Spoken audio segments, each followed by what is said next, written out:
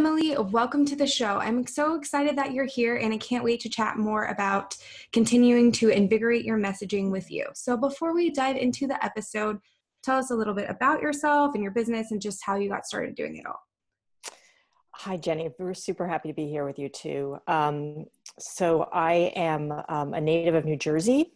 Okay. Um, I am 51 years old and um, have been entrepreneurial from the get go. I grew up um, surrounded and immersed in theater and music and have just always been a, hugely creative soul. I sold Avon on my school bus when I was 10 and got in a lot of trouble.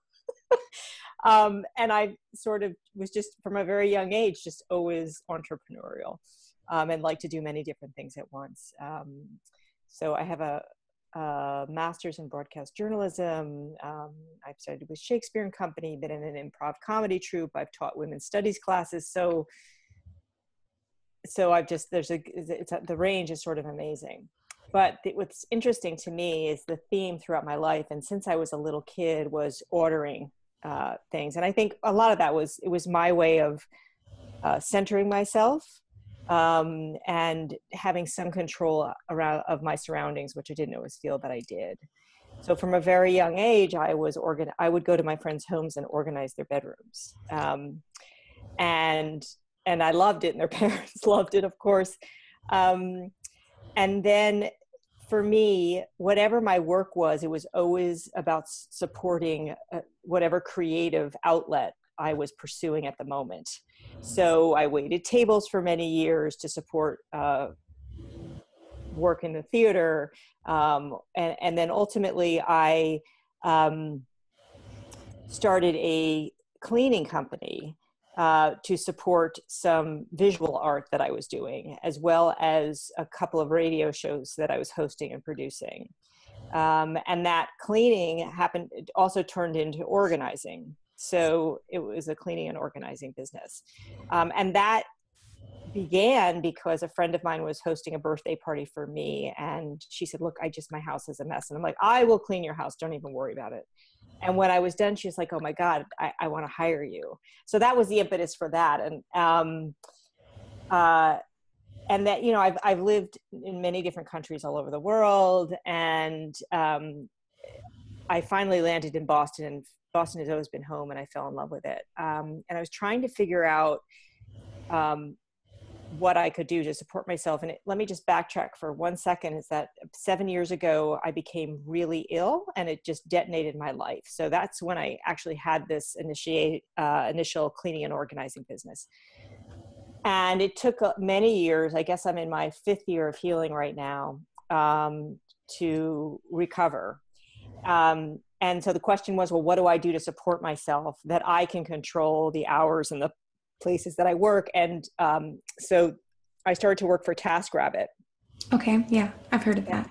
Yep. And I became, I was living, at this point, I was living in Jersey City and I became the number one tasker in New York City, which was really interesting because I had no idea that I was in that uh, place. Um, uh, and then I moved back to Boston and continued with TaskRabbit. And I was very lucky and got a client who said, you know, you should go out on your own and I'll connect you with everybody I know. So that was the impetus for me going out on my own. That's awesome. Yeah, I mean, I I worked in the corporate world, so I have a little bit different of a background, but it's always interesting to hear about people's journey to yeah. you know where they are now. And a lot of creatives do, you know, work side jobs and things like that yeah. to support their creative hustle because it's not exactly. always um, as profitable as it needs to be in the very beginning. right, right, absolutely. Yeah. So yeah, and I'm in that process right now. It's like, okay, should I get a part-time job to help support right. what I'm doing right now? It's really or, tricky because yeah. how do you schedule wise? How would that work? You know? Exactly, exactly. Because I mean, I do this full time, but I would love some extra money right. and for the time being. So yeah, it's it's one of those things.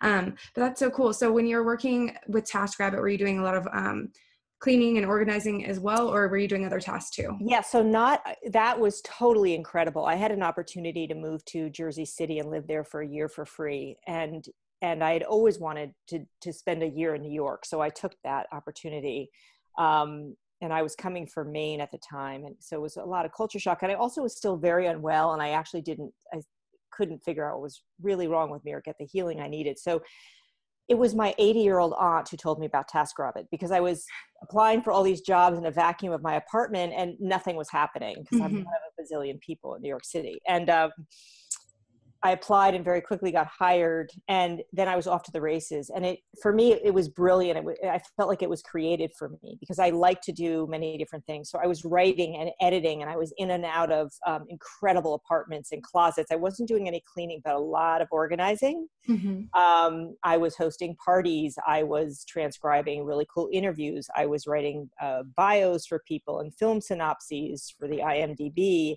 Um, mm there was no limit. I would be home watching um, Kardashians, and I'd get hired to do some research on something. So, like, I could work off my couch. Yeah, um, that's really cool. You know, I got to go to all of these amazing neighborhoods. I was in a Hasidic neighborhood, uh, creating a smoked salmon platter on Purim because the Hasidic family wasn't allowed to handle the dish. You know, this kind of food mm-hmm. on that particular.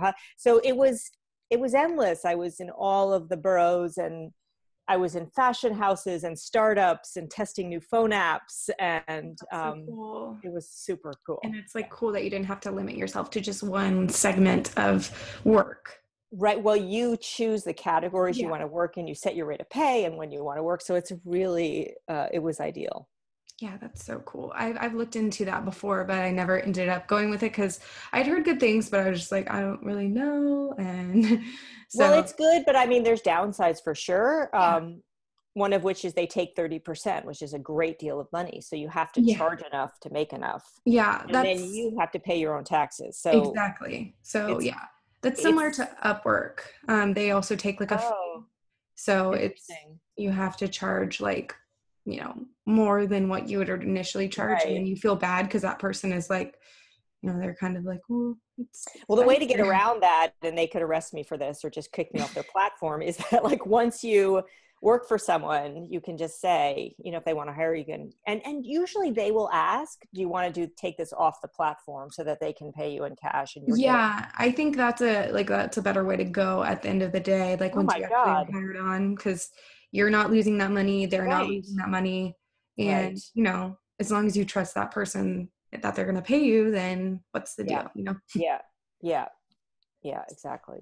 So with your organizing business, um, like what, what really got you um so you got hired by someone you said and then he they told you to start your own business essentially and then so that's when you just started with your business essentially yeah and i so the other thing that happened is I had another client um, who needed a landscape architect, and I happened to know of one, and I referred them to her. And this landscape architect said to me, "I'd like to invite you to my networking group." Mm-hmm. And I immediately was like, "Oh my God, yes, I'm totally coming because I love to network." And um, and then she said, "Well, it's at 7 a.m." And I, I was like, "Oh my God, I don't know if I can do that." So it took me a while to to actually commit to going. Mm-hmm. Um, and then I thought, what, whatever, I'm just visiting. Um, and I went, and it was really interesting because I walked in the room, and uh, there was people that I, I'm very um, empathic, mm-hmm. Um, and I really function from how I feel. Um, and there were people that I knew in that room from 20 years ago when I had previously lived in Boston. There was a woman in there who was a very famous rower who's now has a plumbing company and I had taught about her in one of my women's studies class, classes. So I was like, oh my God, like this is so seemingly meant to be for me. Um, and so I went home and I, the cost was $700 to join. Okay. Um, and there was an application fee and then there was going to be quarterly dues. So for me at the time, that was an enormous output of money. Okay. Um, and so I thought, well, what do I do? And I thought, well, you know, I don't have a web presence. So let me I'm going to put my money into that. Um, uh, so I did that. And then I had this very nice website. And then I'm just sitting in my home because I'm a natural networker, but not sufficiently to truly build a business. Mm-hmm. And most of my life, I've flown by the seat of my pants, which is okay, like 20s, 30s. But when you're 50, it's a totally different thing. yeah. And um, I'm always the last to wake up to how old I am. So, so it was just like, okay, this is just not I can't do this anymore. So, um, so then it just became this pros and cons list, and it became really apparent to me that um, the most that I I had the money. I was just really afraid to let it go. And um, and I just thought, look, the worst thing that can happen is there is no worst thing that can happen. Um, I, I actually only have something to gain by sitting in these four walls. Even if I, it doesn't move my business, it's going to move me in some way. It's gonna it's gonna seep in, and and the knowledge in that room is extraordinary. Um, and the other piece for me too is that I I need I feed off of other people's energy. So I'm not good left in isolation or to my own devices. And I have to really be consciously put myself um, with people and um, and not just people, like people that I admire that are um, sort of functioning at the top of their game in ways that that are really important to my value system. Um, so I joined this group, and virtually instantaneously, it, it paid off. So, so that was the beginning. Yeah, that's awesome. Um, I've always heard that you know the people you surround yourself with are you know how you will be in the long run. It's so, so I can I can totally. It's true, and it's you yeah. know it's not it's not necessarily an easy thing to do because mm-hmm. you may feel, and I definitely did like. First of all, it's amazing to me that I was brought into this group. So so there was a reason for that. So whether I had the confidence or not, I must have to me I must have been meant to be there, and I did measure up.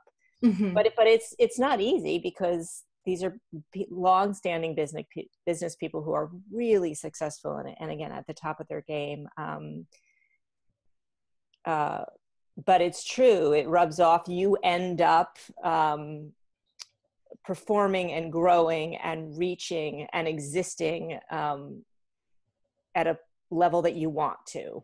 Exactly. Yeah. Whenever I go to conferences with other business women or bloggers and things like that, I always leave and I'm like, whoa, I feel like I can take on the world now. Because I was just amazing. Yeah. It's like you're just around all these amazing people who have really great stories and they're doing great things and it makes you just want to further yourself and your business even more than before. Yeah. And and for me, um, the thing about the networking group is their entire reason for being there is to help you be better and to grow and that's unbelievable. Yeah of course and then once you like you get past like okay i need to invest this amount of money it all becomes worth it you know you kind of have off. to weigh the pros and cons of that but in the end of the day it's like you're getting that community built in in your like purse in person not just online and like i think that's great and you get to see yourself in action. Like i also know that because i'm a stage person and i i, I really love being in front of people um, and i really wanted those opportunities again. And and i was really too scared um,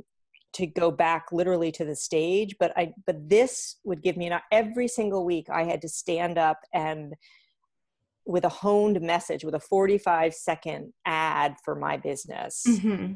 um, a, as well as give these eight minute presentations on a regular basis. Um, that's incredible. yeah, um, that is cool. Yeah. I definitely need something like that. I'm very introverted. So when I do things like, you know, host this podcast or, you know, video, anything like that, I that's like pushing myself out of my comfort zone because I'm not really I'm not really into that. I, would rather just, you know, hang out behind my computer, write a blog post, things like that. Right. But video and like audio are a lot like a different ball game. So I try to put myself out of my comfort zone like daily because it's amazing. It's amazing what that does. And it takes so much courage and it's so scary. And it is always unbelievably rewarding, more than you know you, you could ever imagine. Um, and I, I find that constantly especially when you find the group that is truly there to lift you up like there's nothing like that you exactly know? you need to find your community and those people that you really resonate with because you know um especially i feel like in person it's even more powerful like i have a group of yeah. online friends who mm.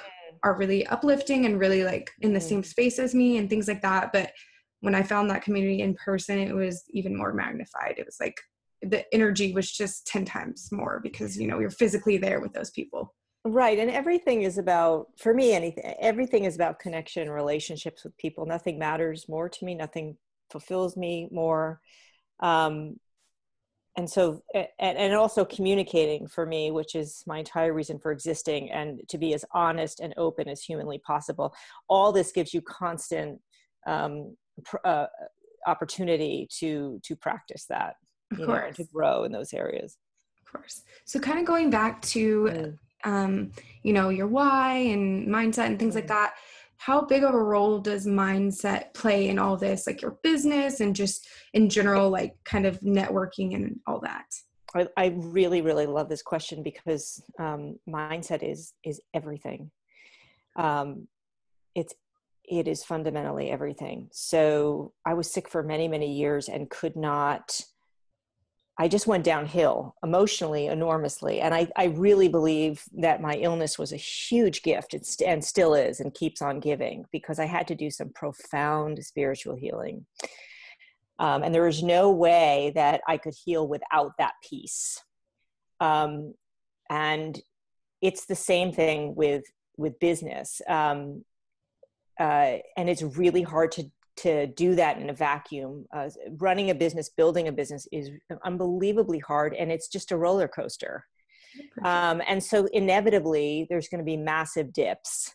Um, and so, how do you how do you weather those? Like, if it's if you don't have support um, or tools, like you won't. Why would anybody?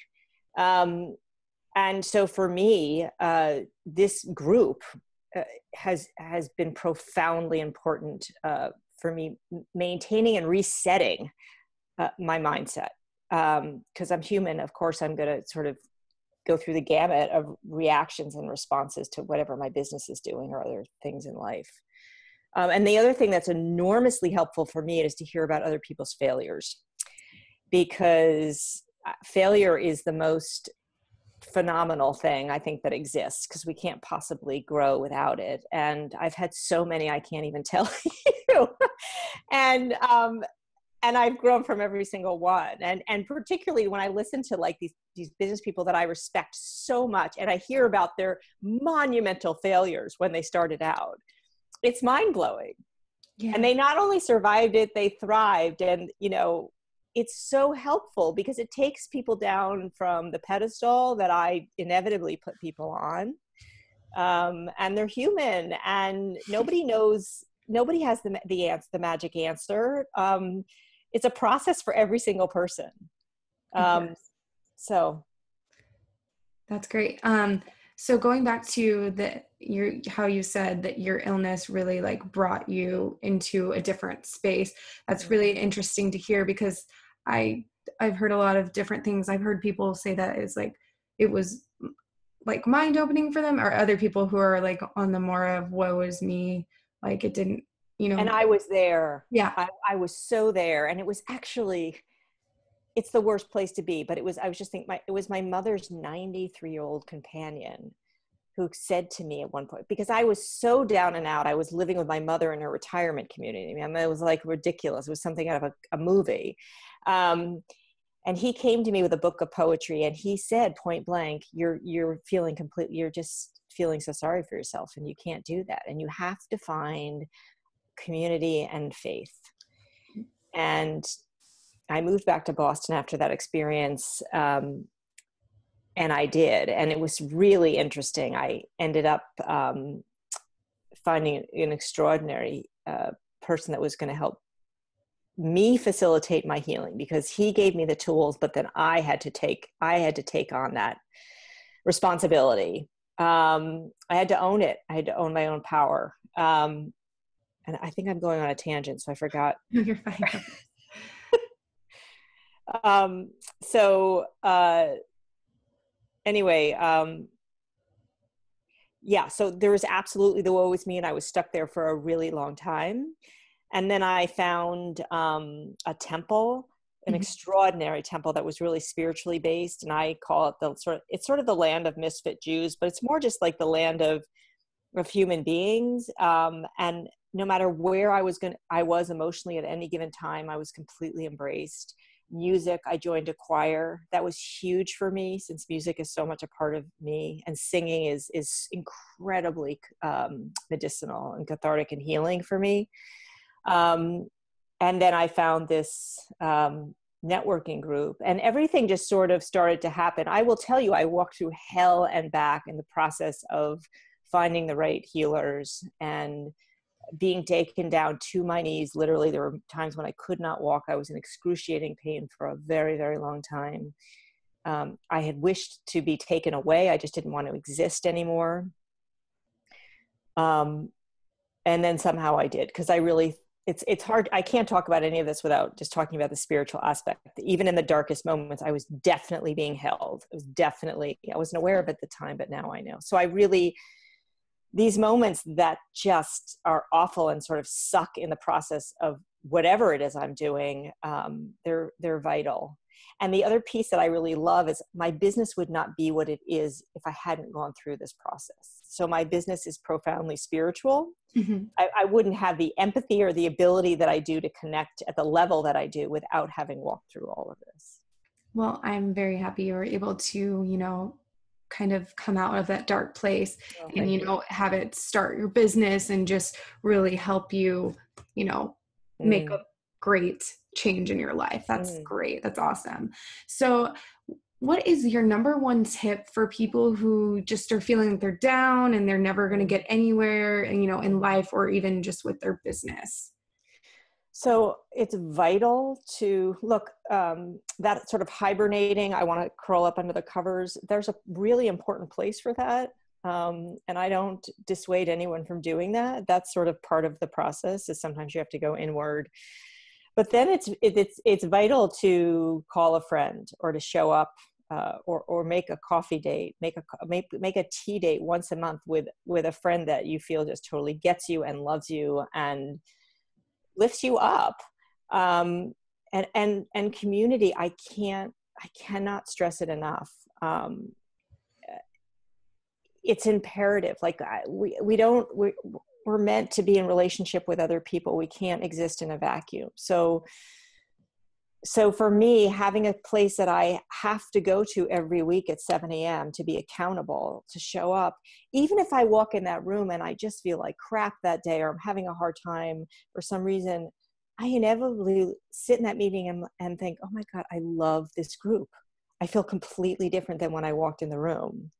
Um, and you know most of the time most people are going through a ton of stuff that we have no idea they're going through. So um and a myriad of things simultaneously so it's important it's just important to be in in community uh, on a very regular basis i, I totally agree i feel like if I did not have people in my community or my tribe, essentially, then yeah. I wouldn't be where I'm at today. Yeah. Because I, you know, you need that support, whether introverted, extroverted, whatever. You need oh my God. Kind of support, whether it's your family, your friends, people you found online, like business friends, that you just need someone at least yeah. one person to and support. it's also yeah and it's really cool to be in a group of uh, of diverse people because then you get to see yourself in relation to others uh, and uh, other minded people um, i mean as long as they sort of have the same basic moral and value system um, i think that's really important because for me anyways i want to be stretched and challenged um, you know otherwise what's the point? So. Exactly. Yeah i i totally agree with that. I mean i have a group of girls who i talk mm-hmm. to on a daily basis and we're not doing the exact same thing. Mm-hmm. like some of us are doing social media some are doing like web design different things. We're all like doing services though. So that's like our one thing that kind of connects right right the common thread yeah we can we can all connect and talk and you know have different things but we're not direct competitors so. yeah and and the genius that comes from other people that of things that you just can't see because they're right in front of your face or because you're in the midst of the thing like that's what i love you know yeah no it's funny because my husband will tell me things and i'll be like no no you know but right. then someone else will tell me the exact same thing that's like in business and yeah. then i'm like oh, a light bulb goes off. But it's yes, like my completely. husband just told me this two weeks ago. Yeah, yeah, yeah. Well, it wasn't the moment, or you needed the perspective, or the distance, or he's too close. You know, it's exactly, exactly. Yeah. And I'm like, well, you don't have your own business, so how do you know? You know, it's like, yeah. not really, but. I, and the other things that are really important to me too so the, the strength of women and the diversity of women in my group are eh, mind-blowing but also the men there's an mm-hmm. incredible mm-hmm. group of men um, who are super female positive and empowering and supportive and that's enormous for me is to mm-hmm. have both of those. Yeah um, yeah so i feel very very lucky. From my experience with men in business and i mean i haven't really worked with them directly or anything i've just seen a lot of you know a lot of guys in this space. So it's really great when they're you know they're really um interested in being promoted as equals and things like that because a lot of the time I see it like, you know, they're dominating everything. So it's nice to have people who are, you know, Humble. interested in both, things, like yeah. women and men being yeah. successful. So that's awesome. Mm-hmm. So what inspires you to continue doing what you're doing with your business? Um, it's it's the the clients. Okay. Um, quite honestly, they're I'm walking into an incredibly sensitive space. And as one person said to me, um, you're actually seeing people in a more vulnerable space than a therapist does because I'm, I'm walking into their literal, their physical space. Like the, the, the place that they close the doors and nobody else gets to see, exactly. I see. And so it's profoundly important. And I drive this message home constantly. Um, of what a safe person I am and how empathic. Um, and what I hear over and over and again, and sort of fairly quickly, is, oh my God, you have no idea what a relief this is that you're here, as well as, oh, I'm really embarrassed that I need you to be here.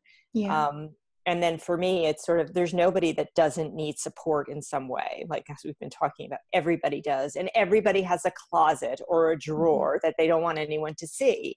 Um, I, don't care who you are, mm-hmm. um, and or how accomplished you are, or how overtly put together you are.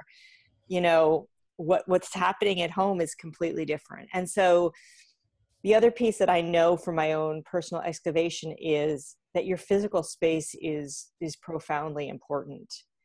And if you walk into that physical space and you feel good looking at mm-hmm. every single item, if it's feeding you in some way, that gives you the opportunity to to be and to go wherever you may want to go in your life.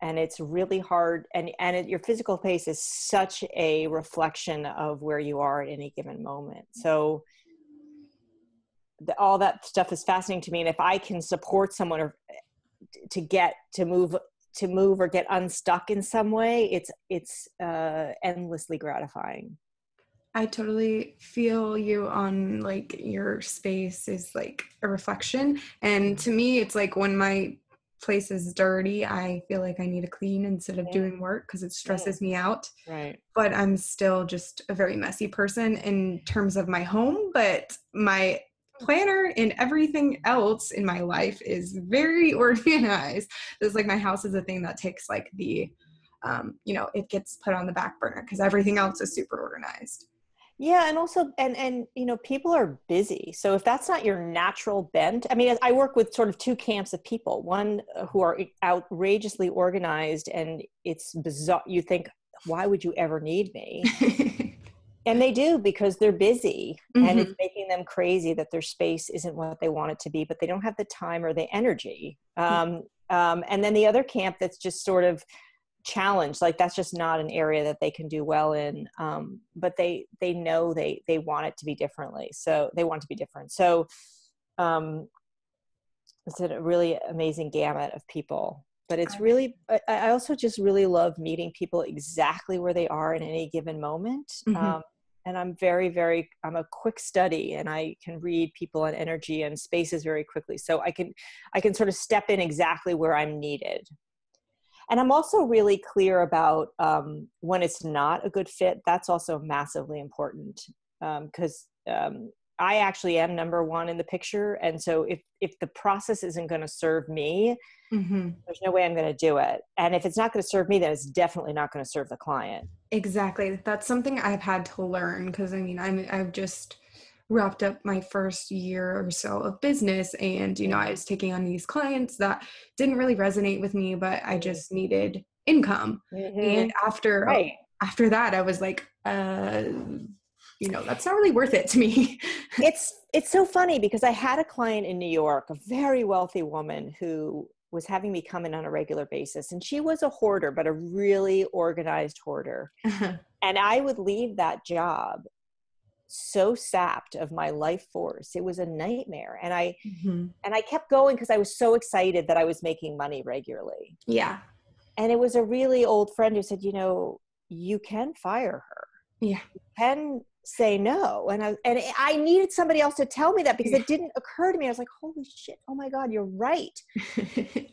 And i need to yeah. this is not I'm not helping her for sure. And I'm here under sort of um, sketchy, you know, because I want your money. That's why I'm yeah. here. And that's not a really, that's not, for me, it was not a good reason to be there. Yeah, of course. And it's like one of those things you just really need to realize because, mm-hmm. you know, when you're in mm-hmm. a corporate job, you're assigned all the work, you got to do it no matter what. But when you work for yourself, it's, you can say no to people um if it doesn't you know work yeah. for you because you're no it's huge happy no is huge. No is awesome. Yeah, I, I finally learned how to say no uh, a couple years. months ago, and it's it's been game changing. It's revelatory. Yeah. yeah. yeah. Okay. Well, n- now we're gonna go on to the three questions that I ask in every single mm. interview. Um, so, what does it mean for you to be an entrepreneur, and what's your favorite part about it? Um, to be an entrepreneur is starting and forging something that's completely unique um, and uh, created and owned by me. Um, and uh, what was the second part of that? Uh, what is your favorite part about it? All of that. That it's um, that I have ownership. That mm-hmm. I'm uh, answering to me. Um, that the sky is the limit um, as to what I can create and achieve. Um, the freedom is enormous. I'm a very outside of the box person, so it's it's very rare that um, that there might be a space that I'd be comfortable in working for someone else. I need a lot of latitude and freedom, and um, so yeah. I completely agree. Freedom is my favorite part too. Yeah. Uh, and just being able to set my own schedule and, you know, kind of work with who I want to work with and you know not i'm not a morning person so you know yeah. going in at a certain time every day is not my cup of tea so right um, it's just nice to have that you know freedom yeah. so um, what is your favorite tool that you use in your business this can be like a um, like a digital tool online tool or like a planner or any of that thing like it can be physical or, or digital it doesn't matter just something that really helps you in your business um I'm an app freak. I love okay. apps. So, and it's actually really, I always love discovering new apps and also being able to share them with my clients. So, if it's an organizational tool, um, like Artkive, um, you know, for for storing art, um, planner apps for myself, like I love Todoist. That really helps oh, me. Oh, yeah, um, I constantly learning. Um, about uh, and the other tool is my connection. The other i forgot to mention earlier that i'm a member of the national association of professional organizers and my local chapter and that's a tool for me. It's unbelievable. So if i ever have a question i can reach out to this community. I'm a huge online person. So um, there's an answer at my fingertips. That's awesome. Um, and it's again it's an unbelievably supportive community of women. Um, which is incredibly inspiring. So um, and my label gun of course is like my go-to. Yeah i love I mean, that you, thing. you can't you can't organize without that. No that and um uh i really anything that's eco friendly so um if that's a garbage bag or um, the recycling center is a huge friend of mine um, that's awesome. Okay. And then lastly, who is your go to business resource? This can be a girl, a guy, just someone that you feel inspired by and they really just resonate with you. There is a lawyer in my group who I am completely, I, I adore her. And I, I was intimidated by her when I first uh, came into the group because she was a lawyer and it felt like, oh my God, you're a lawyer, you're really serious and really smart. She's the most awesome human being. Um, and she's a client and a friend and a business resource and my lawyer. And who knew that I would ever have a lawyer that's so adulty? And um, and she really was appalled that I did not have a contract and a client agreement. And yeah. it took me a while but it became crystal clear that I needed that. And she yeah. is brilliant and uh, created something that was black and white. Um, so no questions were left unanswered for myself or for the client in terms of um, what they can expect from me, what I bring to the job, um, the responsibility, the client's responsibility, my responsibility. Um, and every anytime I have a question, uh, we text constantly. Um, so I, I'm very lucky. And and I will tell you that I actually have a more than a handful of these people because of my networking group that I can call at any given time. That's great. Uh, I feel like a lot of creatives forget about like Yeah. contracts and things like that because they're like so Totally. wrapped up in the creative element that they're like, oh wait, I actually need to have legal stuff going on. Yeah. Yeah. Um, I was kind of the same way. I mean, I formed my LLC right. from the get go, but contracts, I was like, oh, I know I need to do Mhm. this, but how and what? And, you know, I was like, and then I got spurned. So I was like, okay, now I really need to do this because I don't well, right. Exactly. That's what, right. So, um, and the business part of the, the, the huge thing for me is the networking group has really been like going and getting an MBA really quickly. Um, and that's the part was my weakest link. Um, and then the thing, the things that I learn and I'm able to take on that I had little confidence I could manage before are so empowering. And it's so cool when you're like, oh, I can do this. I can do QuickBooks. I can do I can manage, and, and and I find out that oh, I actually like them. This is just a muscle that was not exercised, you know, earlier in my life. So yeah, use the analytical side of your brain. yeah, so, where can um, everyone find you on the web? So, your website, social media links, anything like that. Yeah. Um, Room to breathe organizing is my um,